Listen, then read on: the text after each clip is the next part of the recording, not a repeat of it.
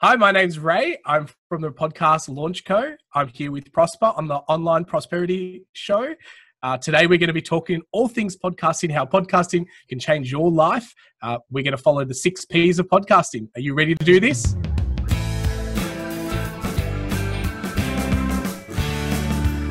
Now, welcome to yet another exciting episode of the Online Prosperity Show. And today we've got Ray, the podcast coach himself. Ray, how are you doing, my man? I'm doing fantastic, Prosper. Always great to be around your energy. you caught me there. Well, you know what? There's always time for people like you because you're teaching people how to actually start a podcast. You're teaching people how to actually, um, you know, make their way through the whole entrepreneurial journey. Now, one of the most fascinating developments in our modern culture um, was the radio. And now that is now transcending into the podcast, which you have become a guru of. So that's the reason why we've brought you here so that you can explain to us exactly how can somebody start a podcast why is it essential and what sort of things um, you know, um, they should look out for when they're looking at, at a podcast. Now, Ray, tell us a little bit about what got you started with the whole podcast journey. Excellent, excellent. Well, I think there's a lot to unpack, and uh, I'll be as brief as I possibly can. But with um with the podcasting, for me, I, I could never really find my flow when it came to blogging. So I've been in digital marketing for 15, 16 years, and blogs as blogs were a big thing. And then you came along YouTube, and there's people doing video content. And I kind of really liked the video side of things. I started a blog challenge with some friends initially, and that kind of went okay, but I just couldn't really get in the groove of blogging and being consistent. So then we turned it into a vlog challenge and we did like a 30 day vlog challenge where we just made one video every day for 30 days. And during this vlog challenge, I kind of really got comfortable with speaking and and the and the video camera and all that. And during that, I went, oh, maybe I should start a podcast. Um, and that's pretty much where the idea was born. And I think it was like on day 24, 25, I mentioned this whole podcast idea. And then by like day 28, my co host of the Razor Sharp show, he reached out to me and said, Hey, would you be interested in being like having a co host? And his name's Matt.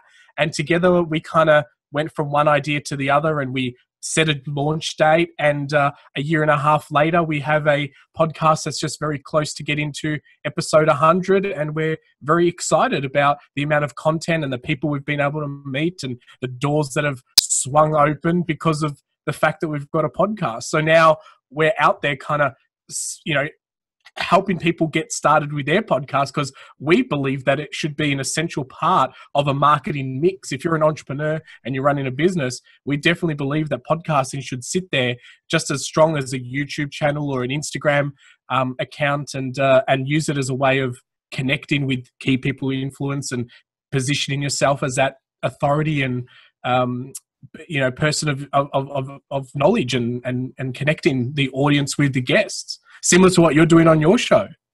Understandable. Well, thank you so much. Um, you know, these days everybody can be their own media company. Everybody can be a platform that actually gives information to other people because people are coming to the internet to get information. And if your brand is the one that's providing that information, you create the know, you create the like, you create the trust. All right. But there's always a whole lot of work behind the scenes that goes on to creating a podcast. First of all, you mentioned that you were not really good at blogging, and then you now found yourself, um, you know, uh, you know, churning out content through a the podcast. Do you actually need to have a face for radio to be able to start um, a, a podcast? No, no, I don't think so. I think, um, you know, I think that the thing for me is that that got me across the line was I went and listened to a lot of the people who were doing really well in podcasting, and I went and listened to their like first, second, third, and fourth episode, and I realized that they weren't as polished as what they were now. So I kind of learned really quickly not to compare mine now with someone else's later, and I thought to myself, well, if they could polish themselves to be a really good interviewer and to be really good on the microphone, then I can as well. So I think as long as you can speak and you can um, articulate really nicely. You know, we've got people that we're helping that are worried because of accents and culture barriers and things like that. And I think that's what actually makes you uniquely you. And no one can copy your style, your voice, and your tone and the way that you get things done. So podcasting is a great way like we can all sustain conversations but we you know i struggle writing sentences i'd get emails from people saying oh you've spelt this word wrong on this blog and i'm like you know, or you know, you've used the wrong there in that context, you know, and I, and it always made me feel like a dummy type of thing. But podcasting, I can say whatever I want, and uh, you know, it, it just is a lot more comfortable for me. But others are really afraid of the microphone or the camera and things like that. But it's all about baby steps, and you know, it's it's about just you know moving the needle just that little bit every day or every week. Uh, thank you. Now I'm not shy to put my podcast out there. Absolutely. Just got to hit the publish button. yeah, because a lot of people, you know, inhibit themselves because they're afraid, you know, they're not going to come out as eloquent or as good as you sound right now. So it, all, it already stops them in their tracks. Now, not only is it them personally that might, um, you know, inhibit them, what sort of equipment would you, um, you know, encourage somebody to sort of start off with? Because um, I, I bet the the microphone you have you're you sounding like you're sitting right next to me yeah right now. So it must be some sort of expensive equipment. So yeah. what sort of yeah equipment can you just recommend somebody who's just starting out? Absolutely. So the equipment that we use nowadays we use as a reward. So when we first started we had cheap $30 microphones from ebay um, it, it, you know i was i was using my iphone um, sometimes to record an interview because that's the only technology I had. So getting it done is probably the more important thing. And and uh, and we kind of went well when we hit episode 30 we'll upgrade our equipment. When we hit episode 50 we will upgrade something else. And over the years, we've slowly progressed into the technology that we have today. But if you kind of want to get really started, there is a really good microphone that's a USB microphone that plugs into your computer, and it's the ATR 2100. Um, and that's by Audio Technica. And that's probably the best microphone to get started with. It's $99, but um, it's, it's a really good microphone. Um, that's the microphone that my co-host Matt uses. But you know, if you're just getting started, any microphone will do. Um, it, it's about actually creating the content and and rewarding yourself along the way. Because a lot of people, you know, I've met people who have gone out and you know got mixers and boom arms and pop filters and all these other podcasting gadgets and spent four, five, six hundred dollars before they've even recorded their first show, before they even know what the name's going to be or who they're going to interview or their show flow. So you know, at the podcast launch co, we have our six P's of podcasting and we take people through, you know, what you need to do at certain times. And, you know, technology and equipment is in like the fourth P, um, or the, or the yeah, fourth P, where, you know, before that, you even need to know the purpose of why you're doing it and things like that. So get clear on why you're doing a podcast and what you want it to look like in six to 12 months' time, and then geek out and reward yourself as the show progresses. Understandable. So obviously, now that we've got the man behind the microphone, we've found a microphone for him. What then would be the next thing? You keep hinting about six P's. Is that like a process that people have to um, go through? If it is, can you just walk us through your process? Sure. So the six P's um, is um, what we kind of wish we had when we were starting our podcast. So it's something that we've put together because what we did is when Matt and I decided to start our podcast, we put a Trello board together and we started putting things in different columns. And then about six months later, we kind of went, oh, look at this. We've kind of accidentally created like a little bit of a framework because we kind of had certain cards in our why and we had certain cards in, you know, what the show's going to look like. And we had, you know, the names of them were different um, and a little bit more of a to-do list. But what happened is we kind of accidentally created our uh, framework which we now teach in our workshops and um, around you know online and things like that so the six p's of podcasting start with the first one which is purpose and that's really getting to know why you're doing what you're doing and and and and why why this podcast is going to get you out of bed in the morning or at night because sometimes your guests are at three o'clock in the morning. So you have to, you know, get up at all hours of the morning to make podcasts work. Um, the second P is plan, and that's when you start now thinking about what your show format looks like. Um, you can start planning what your launch is going to look like you can start picking your dates and we, we really encourage people to get like accountability to share the story and get maybe an accountability partner and say i'm going to launch a podcast on this day. Um, what i did was kind of announce it on facebook and said you know we're going to start a podcast and this is what it's called and this is the date that the first episode is going to come out to you. So that you know i used facebook as a way of my accountability. And when matt came into the equation he was an accountability because now i wasn't just letting myself down i was letting him down as well the third P is platform, and that's where we start talking about you know where the show's going to live. Are you going to have a website? What your artwork looks like, your branding, and so forth. Then our fourth P is produce, and that's when we start talking about equipment, how to set up the room, um, how to talk to a guest, uh, pre-show, post-show, all that kind of um, interviewing tips and so forth. Then we move into publish, which is our fifth P, and publish is when you actually start publishing the episode. Now, we recommend as a starting podcaster that you edit your own shows and you get really familiar with what your show flow looks like and how your intro works and all that, because it's really important that you know what it looks like in order for you to teach someone else. So now, you know, 12 months later, we got our um, editor on board, and now our shows are edited by someone else. But that was something that took a whole year uh, to happen and has only been happening for the last six months. And then the 6P, which is really important, which is promote, which a lot of people don't do really well.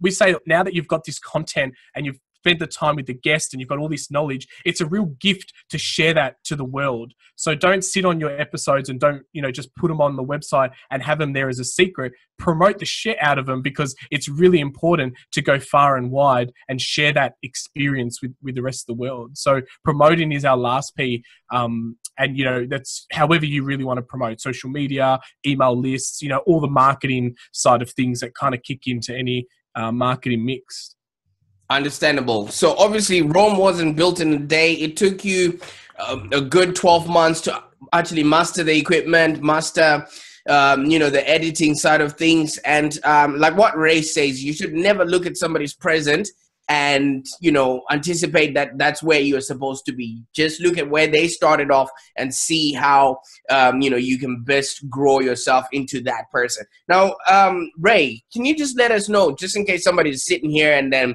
they probably have a mic in hand right now. They're probably on the phone to Fiverr ringing somebody to design a logo for their podcast. How yep. can they get a hold of you so that they can, um, uh, you know, figure out how they can get started with your guys' courses? Yeah, awesome. So we've got our website, which is the podcastlaunch.co. So we're basically the company that can help you launch your podcast. And on the Podcast Launch Co website, we have lots of videos and how to guides and tips and tricks. And we actually break the website up into the 6P framework. So if you're someone who already knows your plan and you know your purpose and you've got equipment, you can kind of skip those P's and go into the other P's that you may be struggling with, like maybe promote and you can dive into that and uh, go a little bit further. And then we have our mastermind and our training programs, um, and we run regular workshops around Melbourne mainly. Um, but we're looking at a way that we can run workshops, capture them, and then share them online as well. Um, so you know we've um, we're basically in the process now of putting together our 2018 roadmap and really seeing what that looks like. We've got a goal to kind of help 100 people launch their podcasts in the next uh, kind of 12 months. Um, and uh, we, we, we're very excited when people reach out to us and say, Oh, well, down at the Yarra Library podcasting event, and we spent the day with you, and I've just recorded my first episode. So that's a really rewarding uh, feeling. So people don't even have to kind of be uh, on our program, they could just come to one of our workshops and you know get our workbook and fill the workbook out and, and, and go on their way. Good stuff, man. I'm, I'm really glad that you have a pledge to help the 100 people. And if there's anything that we can also do from this end to help you reach out to those 100 people, uh, more than happy, um, you know, to help out. Now, Ray, somebody might just be sitting and they probably know they need to do this. They probably have heard you speak about this. They've already looked at your website while we were talking. And now they're just sitting there and don't know how to actually just begin, what sort of word of advice can you just give somebody because they might think maybe I'm still not good enough. Maybe they might think nobody's going to listen to me. They might think there's 500 million other web uh, podcasts out there. Why would mine be different? Yeah, it would be a very lonely and quiet world if everyone kind of never took action to start their YouTube channel, or to start their blog, or to start their business. Um, so I think you know everything starts as an idea, and it needs to eventuate with that. Our biggest advice for anyone starting out is just take small steps, but big enough to be outside your comfort zone. So if everything's feeling too comfortable, then you're probably not growing enough. So we really push people. Um, like that's why we call ourselves podcast coaches because we kind of feel like we're like a team coach, like a sport coach. Our role is to push your boundaries and get you in that ne- next level. So, you know, if, if, you've just got the idea, the next step is to get on Fiverr, like you've said, and get an, an artwork starting to get designed. Even if they're just three really bad designs, at least you're making some progress and you're putting the right energy out into the universe to say, I'm committing to this project and I want to move this project forward. And then funny things start happening. Like, you know, when I committed to the universe that I wanted to start a podcast, all of a sudden a co host appeared. You know, now Matt and I hadn't connected for years before that email that he sent to say, Hey, I'm really inspired by what you're doing and I want to be a podcast co host with you. Um, so it's really interesting that once you commit, um, you know, make make a post on Facebook and say, I want to start a podcast I remember the day that I put a podcast post out asking for guests, um, and I had probably about 12 or 15 people say that they're interested to be on a guest on my show. And I didn't know what the name was. I didn't know what the format was going to be like. I didn't even have an example to say, hey, this is what the show is going to look like. People were just keen to be on a podcast, not even knowing what it was going to be about. So, you know, don't be afraid that you're not going to be able to get guests and that you're going to run out of things to, to talk about because very quickly you can just Google something and share your opinion about it. Um, and so baby steps, but outside your comfort zone is probably the the the underlying uh, advice for that. Understandable. Well, Ray, thank you so much for your time and your expertise because at the end of the day, we are out here to create for and relate to those we're going to be taking money off of. So if your channel is probably going to be voice, you might as well jump on um, and start creating a podcast so that your customers can hear your value because you are paid in direct proportion to the value you're putting out there in the universe. And if you're not utilizing, um, you know, the resources that are out there, people like Ray who've got the expertise and have already been there, done that, did, done the mistakes for you to just go in and learn from them. Um, you know how to be, do, and have a podcast that would actually make your business profitable and enjoyable. Thank you so much, Ray, once again. No problem. It's been an absolute pleasure. Great stuff. And if you haven't subscribed to this channel, make sure you do because we're going to be having experts like Ray that know what they're doing, have been there, and are out in the trenches doing what it is that you really want to be doing for your business. In the meantime, enjoy the rest of your day. Peace.